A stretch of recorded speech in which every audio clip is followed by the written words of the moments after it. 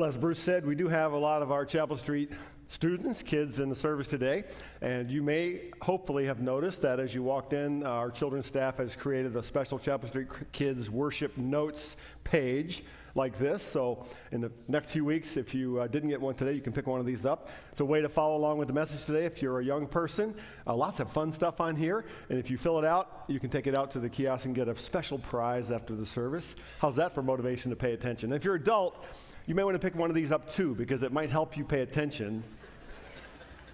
we need one of these for adults, I think. Uh, I don't think you're going to get a prize though, so pick one up. Well, a number of years ago, I was on my way to church one morning, I think middle of the week, and I decided to run a couple of errands. I needed to deposit a check at the bank and then stop by the hardware store, maybe to get some lawn bags or something. So I pulled into my ATM at the bank and deposited the check, and then decided at the last minute while I was still in my car to get, get a little bit of cash.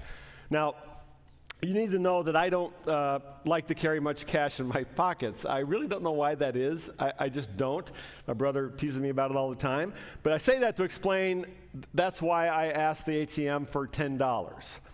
Now, it tells you how long ago it was because there's no longer an option just for $10 on most ATMs. It's only $20. But I was trying to get $10 out of my ATM, so I punched in $10, and when the bill and the receipt came, I just took them without looking and tucked them into my shirt pocket and headed to the hardware store. Uh, found the lawn bags, and when I went to the checkout line to pay, I was going to use the cash in my pocket. And when I took out the cash, I took out not a 10, but a 20. And I knew it had to be what I put in my pocket because I had no other cash on me. And I looked at it, I was kind of confused. So then I took out the receipt real quick, standing in line, and glanced at it. And sure enough, it said $20. I'd asked for 10 and it gave me 20. So I put the money back in my pocket. I paid with my, uh, my de- debit card and I walked back to my car kind of confused. I double checked, every, double checked everything. And uh, then, just to be sure, I drove back to my bank. Went to the same ATM, punched in $10, and it happened again. I got a $20 bill out of the ATM. Uh, now, my first thought was, God is so good to me. No, not really.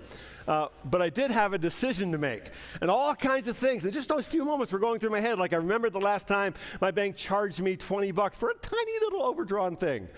I remember all the times they charged me two extra dollars for getting cash out of a different ATM. I was just thinking about all that stuff, uh, and it wasn't my fault uh, that it was being overly generous, you know. But then this little voice said, maybe you should go into the bank and tell them their machine is having a problem. Oh, and by the way, take those two 20s with you. So that's what I did. Now, we all deal with money every day, and we all know that money or wealth plays an enormous role in our culture and in our lives. We also know that money has a certain power to it, a kind of a gravitational attraction, that it, it bends everything that gets close to it, and it can pull our hearts and our minds, even our lives, all out of shape.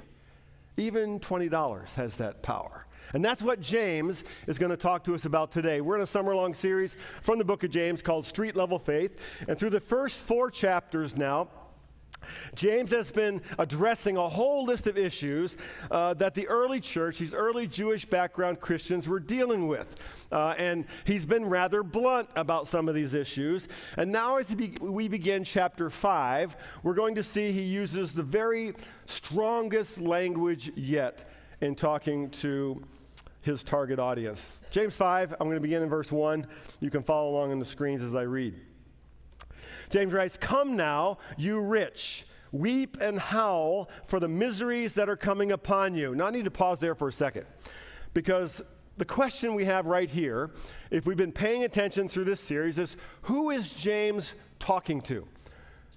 Come now, weep and howl for the miseries coming upon you. Up to this point, he's been addressing these young Jewish background Christians who are facing all kinds of persecution, who've been scattered around the region of Jerusalem, uh, who are fleeing persecution, and are dealing with all sorts of issues trying to put their faith into practice. But who is he talking to now?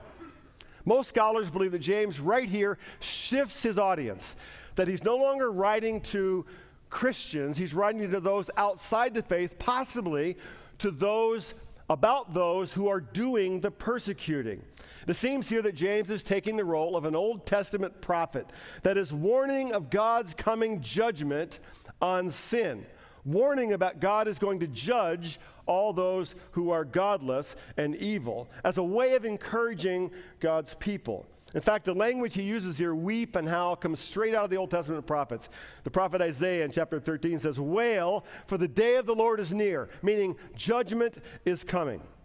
But even though he's aiming these comments at the non believing world, I think there are things that we as followers of Christ can listen to and learn from about what he has to say about our wealth. So, continuing verse 2 Your riches have rotted, and your garments are moth eaten. Your gold and silver have corroded, and their corrosion will be evidence against you and will eat your flesh like fire.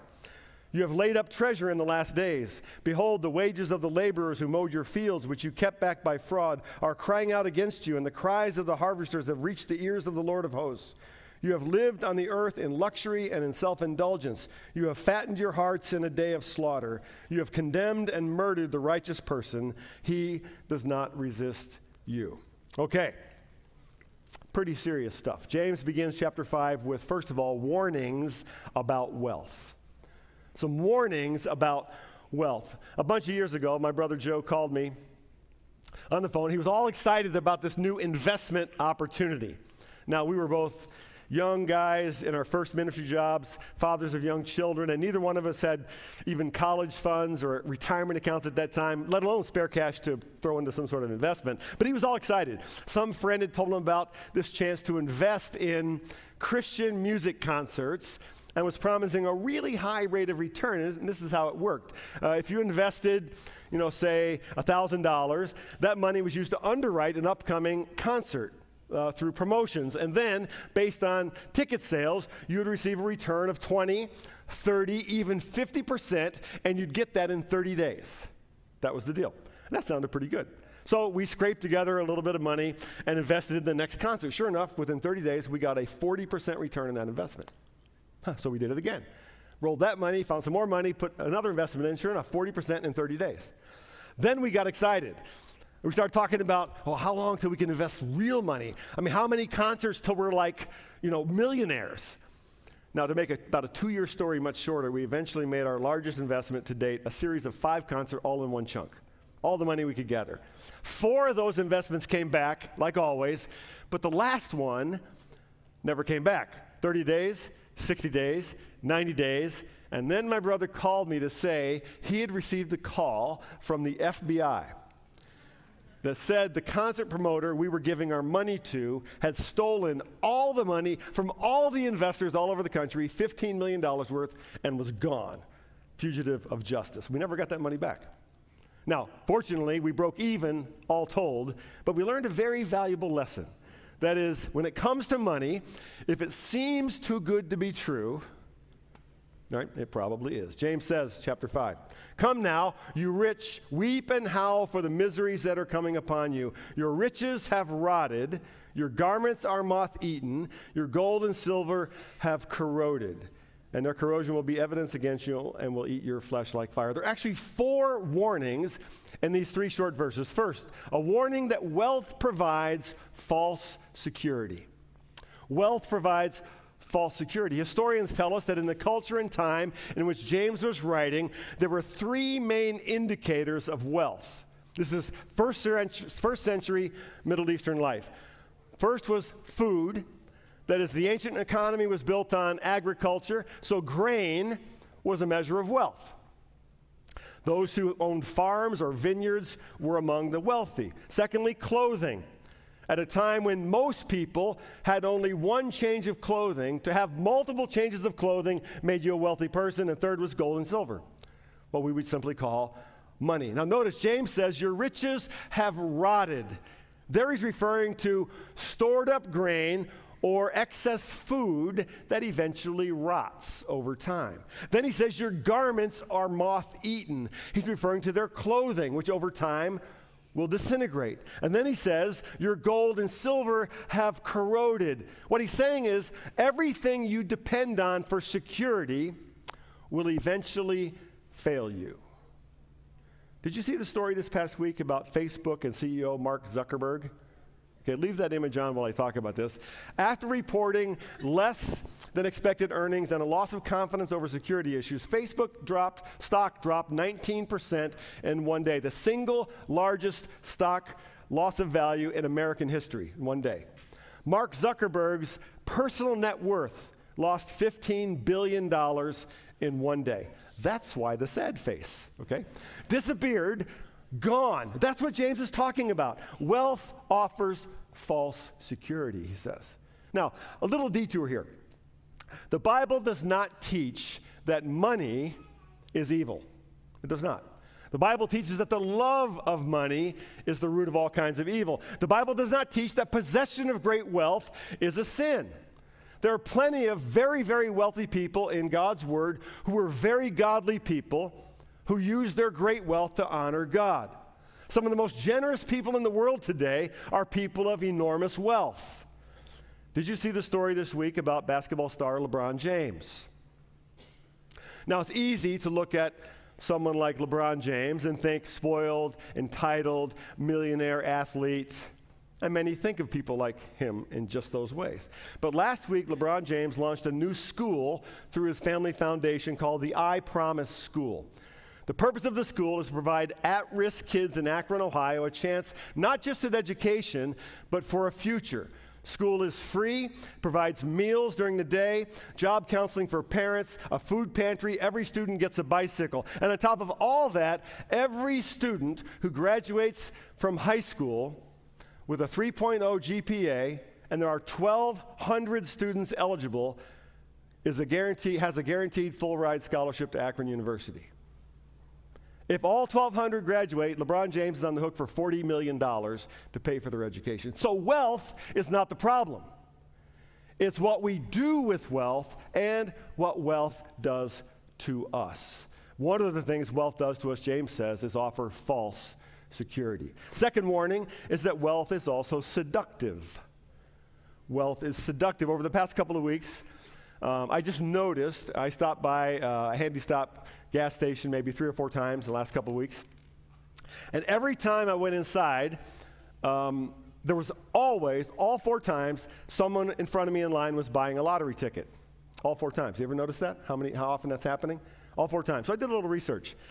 44 out of 50 states in America have official lotteries. The single largest lottery ticket winner, single winner, was a 53 year old woman in 2017 who won $758 million in Powerball.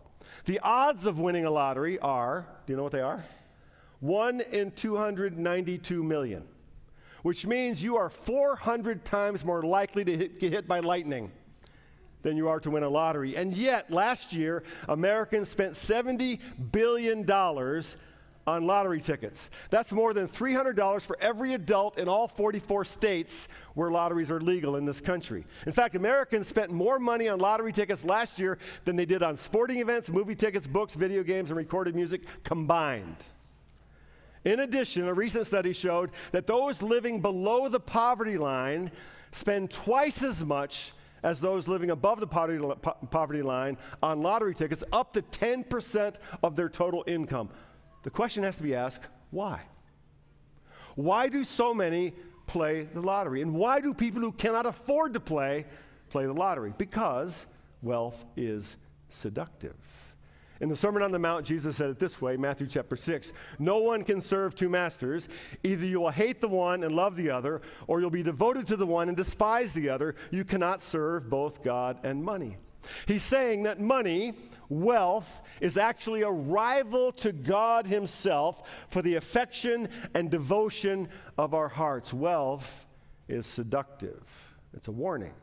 Third, James gives the warning that wealth promises what it cannot deliver promises what it cannot deliver.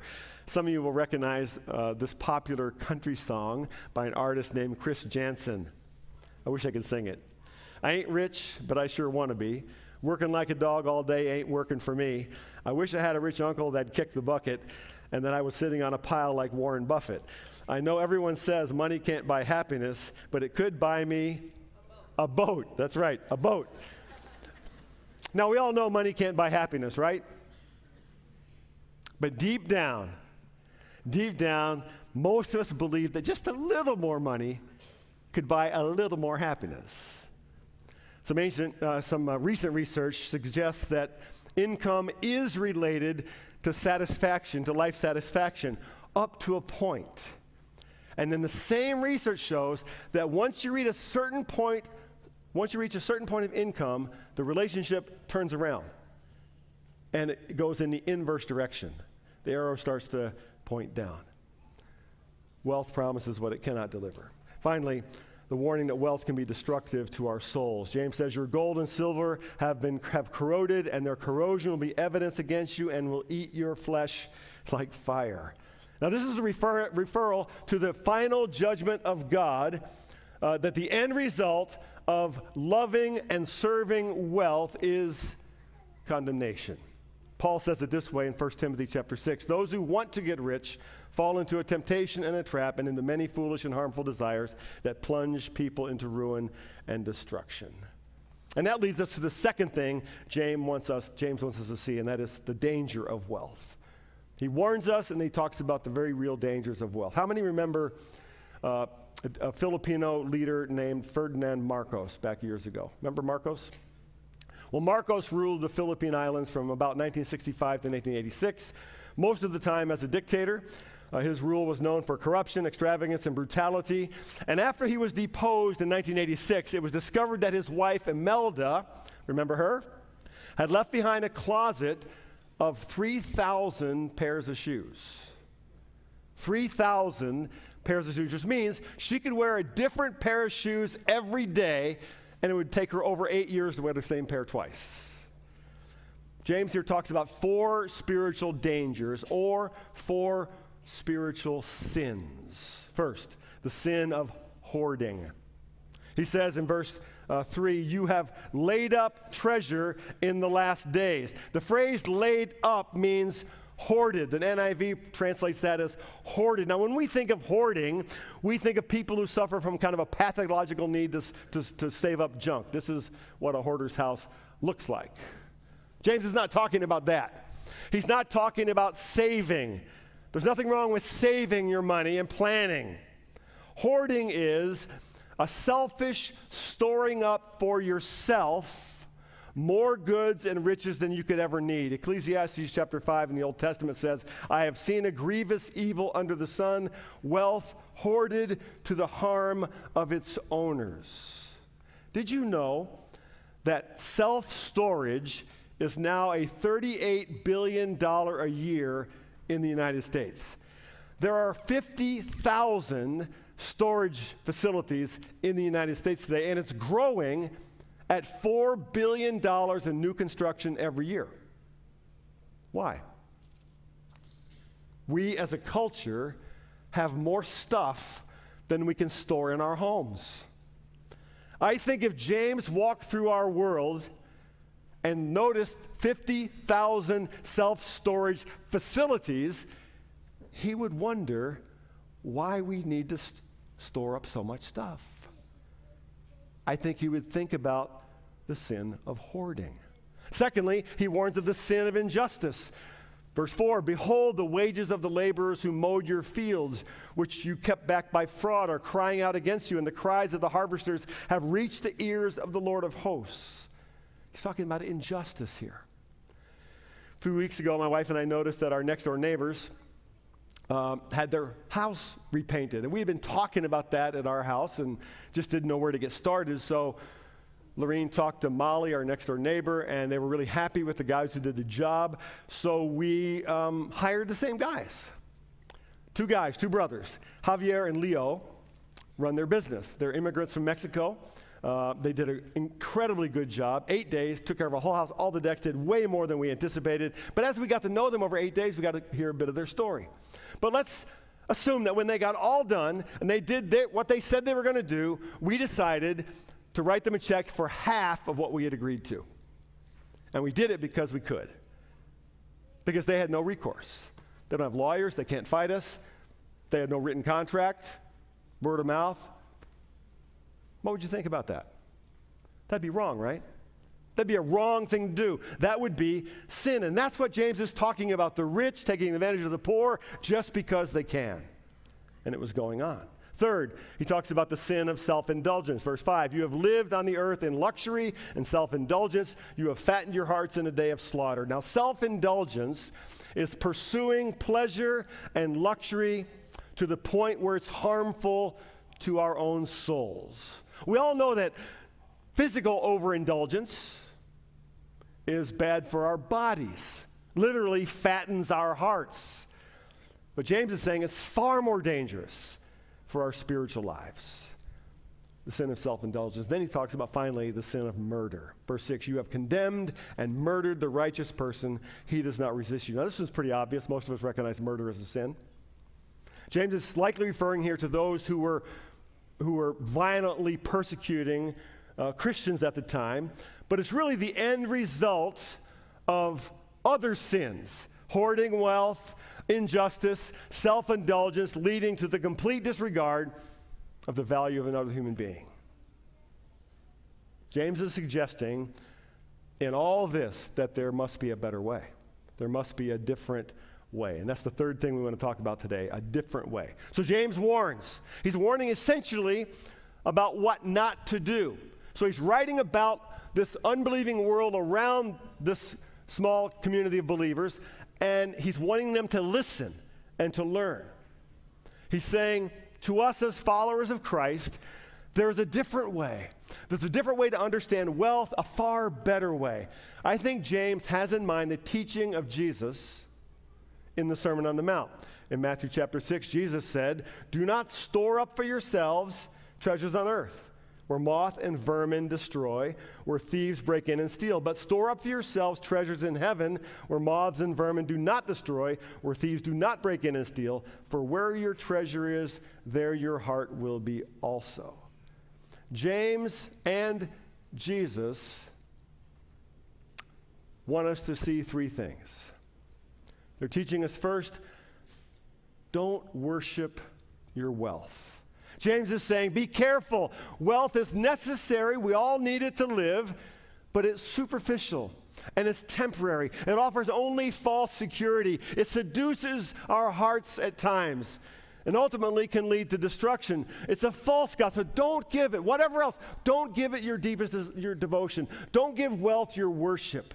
Don't give it your ultimate trust. Rather, give your heart to God who offers freely that which you cannot buy. So, how do you know where your heart is, really? How do you know? Jesus said, Your heart is where your treasure is. So, take a good look at where your treasure is. Take a good, honest look at where your resources go, at where your money is, at where your wealth is invested. Take a good, hard look. What does it tell you about your heart? That's what Jesus is saying. Don't worship wealth. Secondly, don't hoard your wealth. I want to be careful here. Money is necessary. There's nothing wrong with earning money. There's nothing wrong with saving money. There's nothing wrong with financial planning. But when we hoard, when we allow ourselves to believe that our wealth belongs solely to us, that our wealth is for us, that it's only for us, then we are hoarding. So, what's the cure for hoarding? Generosity. Generosity. Here at Chapel Street, we believe God is generous. That God is the most generous being in the entire universe. We believe the gospel itself, at its heart, at its core, is generosity. For God so loved the world that he gave his only Son.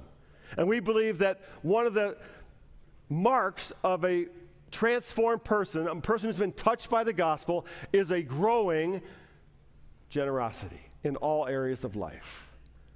James would urge us to practice regular unhoarding. I don't even think that's a word, but I just made it up. Practice regular unhoarding. And thirdly, finally, don't invest solely in your own kingdom. You know, we all have our little kingdoms. The way we live in North America, we have our little kingdoms.